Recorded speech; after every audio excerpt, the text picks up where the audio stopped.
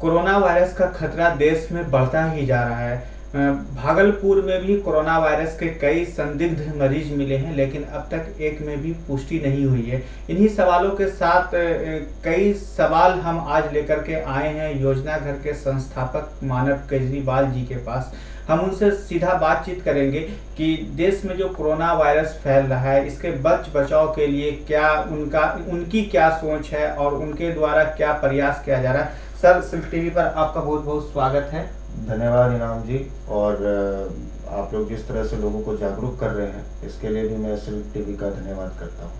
तो सर सबसे पहले आपसे हमारा सवाल होगा कि जो कोरोना वायरस का जो संक्रमण तेज़ी से फैल रहा है उसके लिए आप क्या अपील करेंगे लोगों से? कोरोना वायरस का संक्रमण जिस तरह से फैल रहा है इसके लिए मैं पब्लिक से यही अपील करूँगा कि आप सभी अपने अपने आप को साफ़ सुथरा रखें, अपने अगल बगल साफ़ सफ़ाई रखें और अगर जो खासकर जिनको डायबिटीज़ है और जो थोड़े उम्र दराज लोग हैं, उन लोगों का, अपने बड़ों का ध्यान रखें और वो, वे इन, और ये लोग अपना खासकर अपनी अपने शरीर का, अपने हाथों को, पैरों को साफ़ सफ़ाई रखें क्योंकि वही एक तरीका है इस बीमारी से बचने का। डब्ल्यूएचओ ने इसे महामारी घोषित कर दिया है। इस विश्व की इकोनॉमी पर इसका काफ़ी व्यापक प्रभाव पड़ा है। इकोनॉमी को लेकर के आप क्या कहेंगे कोरोना वायरस से जोड़कर? देखिए ये एक बीमारी है जिसका आ, सभी देश के सभी साइंटिस्ट सभी लोग और सभी डॉक्टर्स लगे हुए हैं कि इसकी इसकी दवा बनाने में। और उम्मीद है कि जल्द ही इसकी दवा बन जाएगी। अभी हाल में ही अमेरिका के प्रेसिडेंट डोनाल्ड ट्रंप ने भी बोला कि फ़र्स्ट फ़ेज़ इसका कंप्लीट हो गया है। तो उम्मीद करते हैं कि जल्द इसकी दवा बन जाए और देखिए इकॉनमी के ऊपर तो असर पड़ना लाजमी है। तो ठीक है आ, अब ये है तो पहले हम इससे तो बचें फिर इकॉनमी भी सुधर जाएगी। इन सवालों से थोड़ा पीछे हटते हैं। आप योजना घर चलाते हैं सरकारी योजनाओं की जानकारी लोगों को देते हैं। तो सर आपकी जो योजना घर है इसका उद्देश्य क्या है?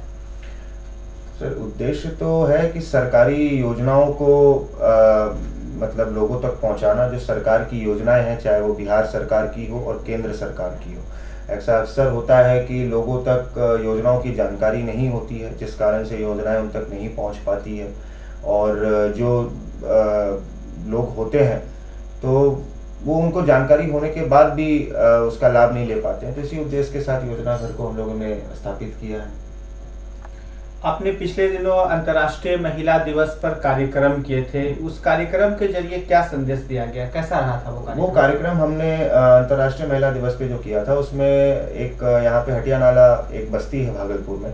तो वहाँ की महिलाओं को हमने सैनिटरी पैड का वितरण किया था, जो केंद्र सरकार के द्वारा एक रुपये में उपलब्ध है। और उसके अलावा हमने वहाँ पे, वहाँ की महिलाओं को साफ़ सफ़ाई कैसे रखी जाए किस प्रकार से रखी जाए, इस बारे में भी बताया था। और आने वाले समय में भी हम एक कार्यक्रम इसी तरीके से और बस्तियों में करने जा रहे हैं, जिसमें हम लोग कोरोना वायरस से रिलेटेड लोगों को जागरूक करेंगे कि कैसे वो अपने अगल बगल साफ़ सफ़ाई रख सकते हैं, घर में कैसे चीज़ों को तैयार कर सकते हैं, कि और अपने बच्चों को किस तरह से इस चीज़ की आदत डाल सकते हैं, कि अपने हाथों को साफ़ करना।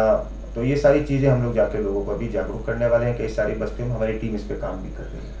आपकी टीम काम कर रही है कई इलाकों में काम कर रही है लेकिन इसमें जो जिला प्रशासन है हम्म। उसमें आप जिला प्रशासन का आपको कितना सहयोग मिल रहा है? जिला प्रशासन का सहयोग हमें बहुत मतलब अच्छे तरीके से मिल रहा है। उन्होंने हमें पहले दिन से सहयोग किया है।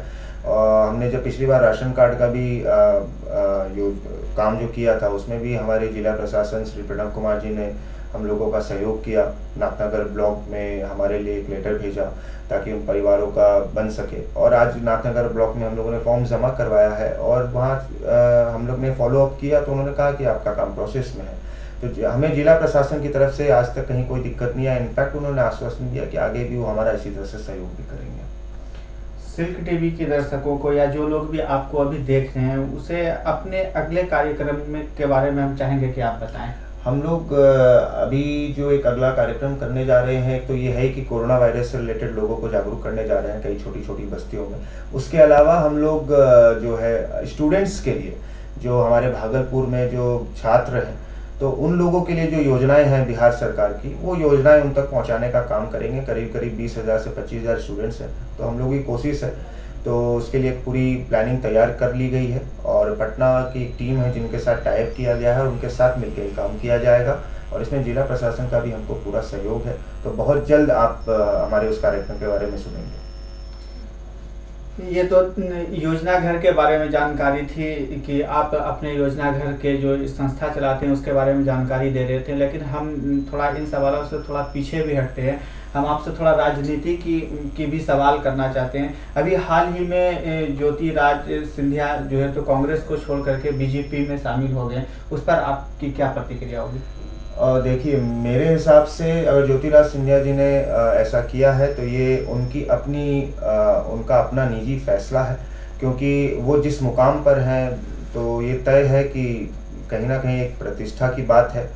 तो उन्होंने, बस हम तो यही उम्मीद करेंगे कि वो जिस दल में भी रहें, अपने क्षेत्र के लिए काम करें। तो वो ज़्यादा इसलिए अभी कहना कुछ भी जल्दबाजी होगी तो समय बताएगा। बाकी मेरे ख्याल से उनका अपना निजी फैसला और वो ज़्यादा बेहतर पोजीशन में है सब फैसला लेने के लिए, पर जहाँ तक हमें पता है इन ऐसे में पैसे और ये सब चीज़ें इतने मायने नहीं रखते तो प्रतिष्ठा की बात है तो फैसला उनका मैं निजी कहूँगा।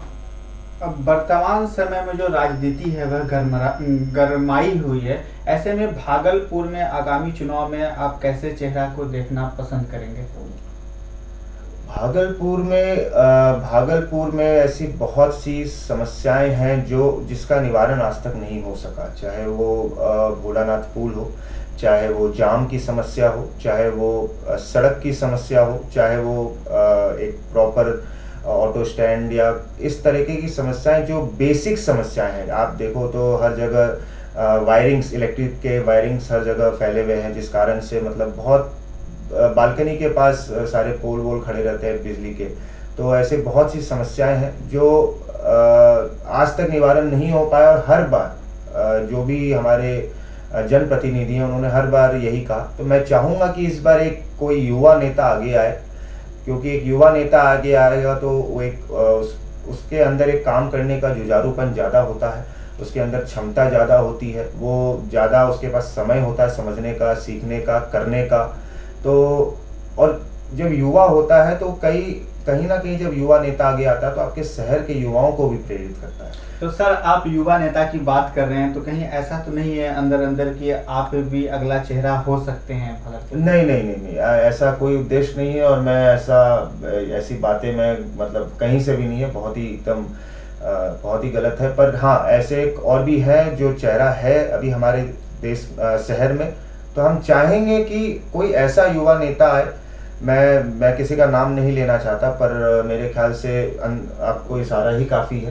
तो चुनाव में लोग लोग लुभावन वादे करते हैं। नेता जो वोट मांगने के लिए आते हैं तो कई वादे करते हैं कि विकास के कार्य करेंगे। लेकिन जब चुनाव जैसे ही खत्म होता है अपनी कुर्सी पर वो बैठ जाते हैं सारे वादे भूल जाते हैं ऐसे में आप जो जनता है उससे क्या अपील करेंगे? मैं जनता से यही अपील करूँगा कि एक तो आप जब भी वोट करें तो वोट करते समय आप इस बात का ज़रूर ध्यान रखें कि आप किसको वोट कर रहे हैं किस लिए वोट कर रहे हैं। आप उसका बैकग्राउंड देखें उसके सभी कार्य को देखें आप उसके अ, उसने अभी तक क्या किया है उसकी क्या मानसिकता है वो कहाँ तक कर सकता है हर चीज़ों को देखते हुए आप वोट करें क्योंकि आपका एक फैसला पूरे शहर का फैसले के ऊपर शहर के डेवलपमेंट के ऊपर असर डालता है।